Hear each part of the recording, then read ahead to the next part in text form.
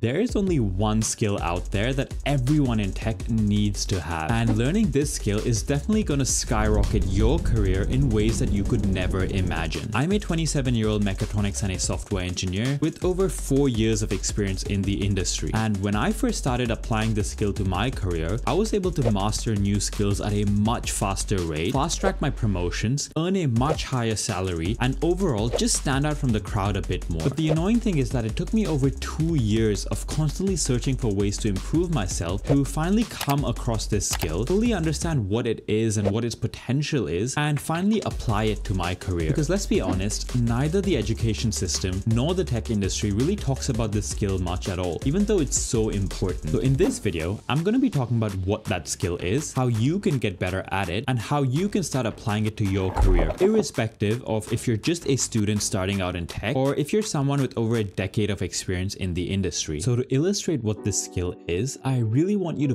pause the video and see if you can figure out the words that should fill in these blanks in this sentence over here.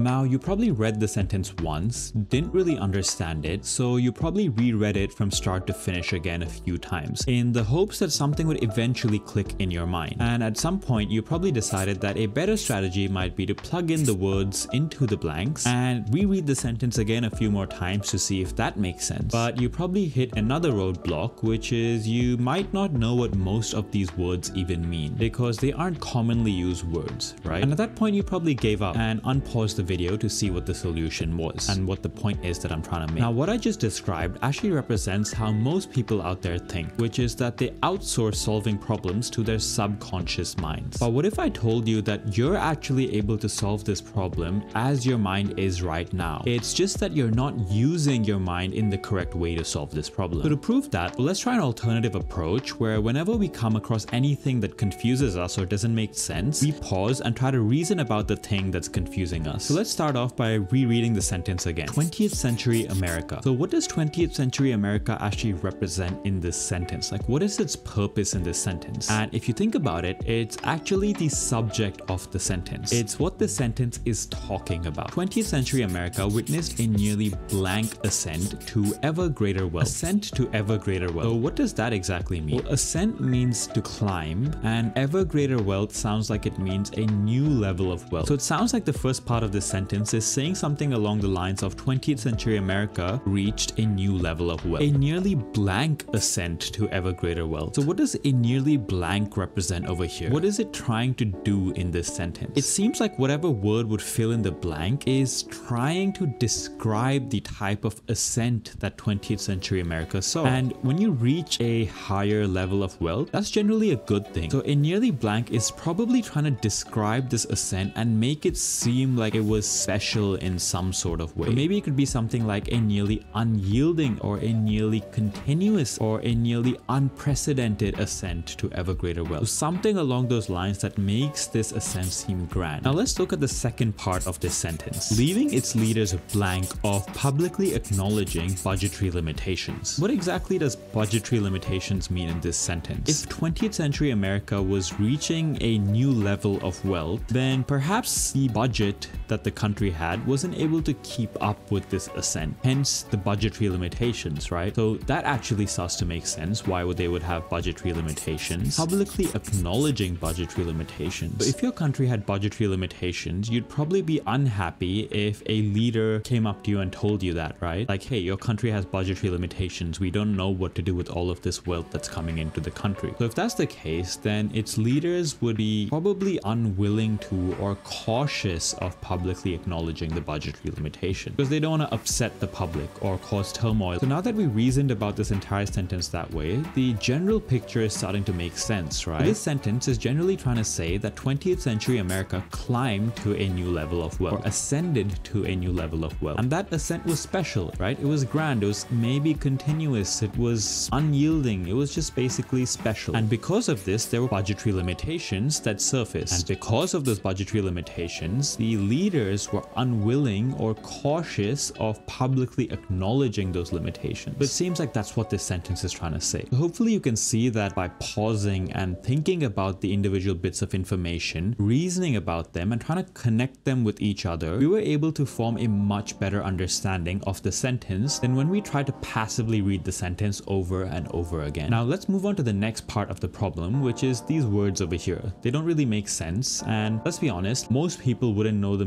meanings of these words because they're unconventional. You wouldn't use them in everyday speech, right? Luckily, we live in a world of Google where we can just search for an easier definition of each of these words. And I've gone ahead and done that over here. At this point, I'm pretty sure that you should have a much better understanding of the sentence than when you passively read it before. And now that we've replaced all these complex words with much simpler ones, I'm sure that if you tried again, you'd be able to figure out what the solution to this problem is without me or anyone else having to tell you what the answer is. So by walking you through this process, I basically wanted to highlight a key skill. And if you haven't already figured it out, the skill I'm talking about is problem solving, which can go by a lot of different names like critical thinking, critical reasoning, logical reasoning, and so on and so forth. But this skill is basically the ability to take a problem that seems complex or difficult to solve, break it down into smaller problems that are easier to reason about, reason about each of those sub-problems and come up with mini solutions to those sub-problems, and eventually combine all of those mini solutions and reasonings to come up with an overall solution to the problem that seemed complex in the first place. But at this point, you might be wondering why this skill is even important in tech, right? When it comes to tech, problem solving is going to be crucial for your success in the industry because as you progress through your career, you're going to be given more and more complex problems to solve. And each of those problems are going to require you to think innovatively and come up with brand new solutions. Think about all the problems that Apple and Steve Jobs faced when they worked on the world's first iPhone, which at the time was a device that allowed you to control it through a touchscreen. And this was in a time where pretty much all the phones out there had physical buttons on them. Or think about all the problems that Tesla and Elon Musk faced when they tried to come up with a cheaper way to manufacture batteries so they could be used in electric cars for long distance travel, which by the way was a key blocker to electric vehicles at the time. Now granted that some people might say that Tesla might not be considered a tech company, it's a car company. The point that I'm trying to make is that unlike some other industries, in tech, a quick Google search isn't always going to give you the answer that you're looking for. It might give you smaller pieces of information, but never really the whole solution that you're looking for. And that's because most companies in this industry are innovating or coming up with new solutions to a certain extent. So they're most likely going to be hiring you to work on problems that have never really been worked on before. And that's where your problem solving skills are going to be crucial. Your ability to take on that problem that's never been worked on before, break it down into smaller problems that are easier to reason about, solve each of those smaller problems, combine those solutions to eventually come up with an overarching solution is basically going to define the progress that you see in your career. Employers basically value problem solving very highly and they want to hire people that can essentially take on these complex problems and provide them with creative solutions. But ultimately, the complexity of the problem that you work on is going to determine what position you're going to be given at a certain company. And if that argument doesn't convince you, then I want you to think about anyone who's in a position that you look up to in the tech industry, right? So on paper, most of these people who are either CTOs or tech leads or industry leaders have pretty much the same qualifications and the same number of years of experience than many of their other peers. But what sets them apart is their ability to problem solve and come up with creative solutions or new solutions. Okay, so maybe I've convinced you on the importance of problem solving and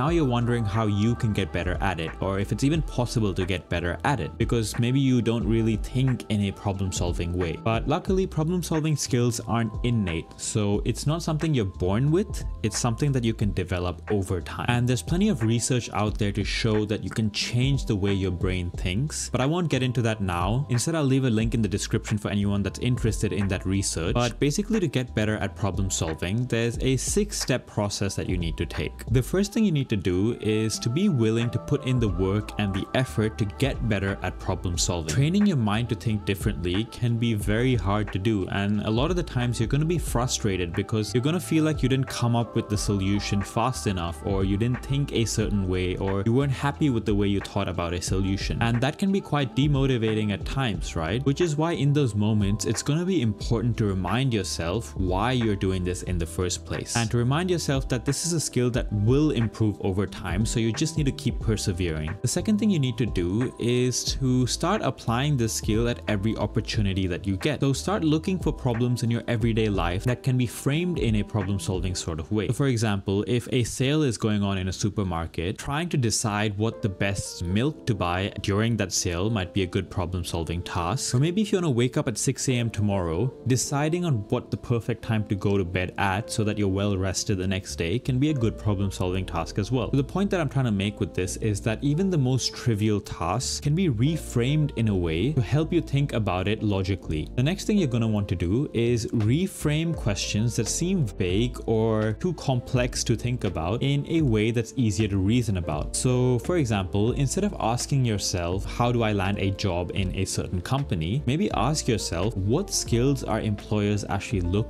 for and how can I learn and showcase those skills to these employers? The next thing you're going to want to do is once you've reframed your initial question in a way that's easier to reason about, you're basically going to do what we did at the beginning of the video, which is take that problem, break it down into sub-problems, reason about those sub-problems to come up with smaller solutions, and then combine all of those solutions to come up with an overarching solution to your problem. Step 5 is that you should probably subscribe to this channel. Learning from others can be one of the best ways to learn a new skill quickly. And on this channel, I want to show you how problem solving can be applied to build a variety of different projects. Like this AI that I built that's able to basically navigate through any apartment that you could generate. Or this AI that I built that's basically able to solve the hardest game of Snake. And instead of showing you all the technical steps that I took to build these projects, I'll be showing you how I went about thinking about these problems in the first place and the general solutions that I took to solve the problems, which should empower you with a framework to essentially go out there and build your dream project. And the last and final step is to keep practicing. I promise that if you keep practicing on a daily basis, you're eventually going to get much better at this skill. And when that happens, you're going to be up here in comparison to all the other competition in the industry.